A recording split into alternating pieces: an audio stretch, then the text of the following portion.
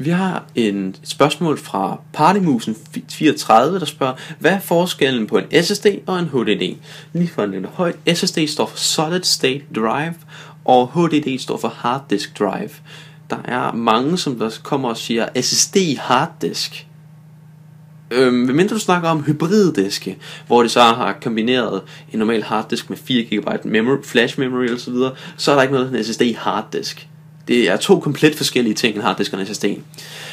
En harddisk fungerer ved, at der sidder en nogle, at der sidder nogle runde plader inde i, hvor der sidder nogle læsord, der går over. På pladerne kan du så, kan du så gemme data, og de snor sig rundt på ja, omkring 7, om, typisk på 7, for desktop 7200 omdrejninger i minuttet, og for bærbare 5600 omdrejninger i minuttet. Så man nok øh, kan forestille sig, at det er ret hurtigt til snakke rundt, og derfor er de meget skrøbelige, de er lidt langsomme på grund af det der hoved, der skal bevæge sig hver eneste gang, den skal finde nye data, og det er ikke sådan så holdbart, fordi der er jo en masse bevægelige dele indvendigt.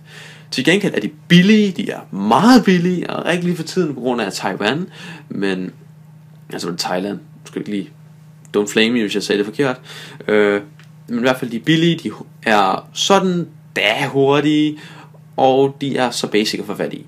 Så har vi SSD'erne, en SSD består faktisk, kan vi se om jeg har et... Forestil dig sådan en her. En USB-pen. På den her USB-pen, jeg, jeg ved ikke, om jeg kan få kameraet til at fokusere, jeg gider ikke til at gå om bagved og sådan noget. Men her, jeg ved ikke, om I kan se det, der sidder der en flash chip. Det er en named flash chip. Og essentielt, det der sidder, det en SSD er, er mm, rimelig mange af de der chips der, der sidder sammen på et board, hvor han så har en controller, der sørger for at dele ud med data til alle, alle de få små chips. Det vil så sige, at det du så har er et 100% elektrisk datalæring.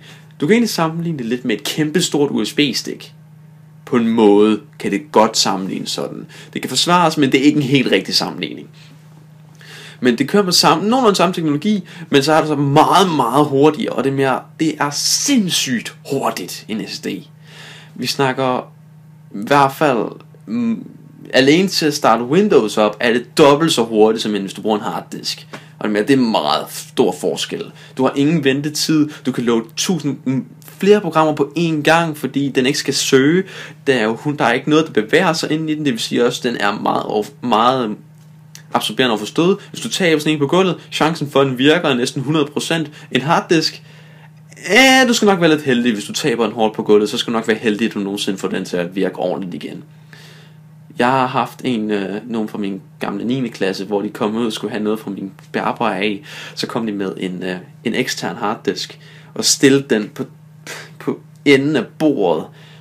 Og kablet gik sådan stramt til stikkontakten. Det første personen gør, at, er at falde i ledningen, dunk, og en sådan harddisk virkede ikke mere den døde lige præcis der, og begyndte at klikke, og den kommer aldrig nogen til at virke igen. Det siger lidt om skrøbelig en harddisk men så er det sådan får en ulempe ved en SSD. Altså SSD'er har så mange fordele. Mm, der er så selvfølgelig to ulemper ved dem. Et er, de er fucking dyre i forhold til en harddisk. En 64 GB SSD koster omkring 600-700 kroner for en ordentlig en. Og det er dyrt, men jeg vil sige, det, det er værd, hvis du vil have hastigheden for det. Øh, og så har de, lidt, mm, har de så også en rimelig limited lifespan i forhold til, at de kan kun blive skrevet til et vist antal gange, før det dør ud.